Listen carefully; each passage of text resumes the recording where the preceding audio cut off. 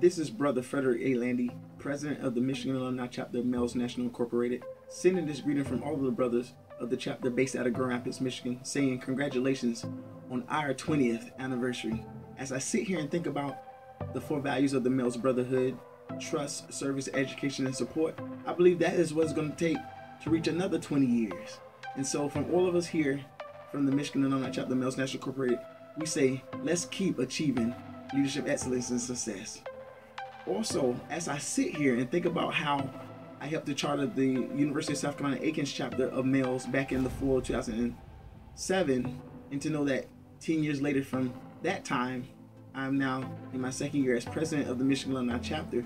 I believe that that is what it's going to take having that type of motivation, that type of determination to continue to see the brotherhood expanding and growing all over the United States. So once again, happy 20th to us all.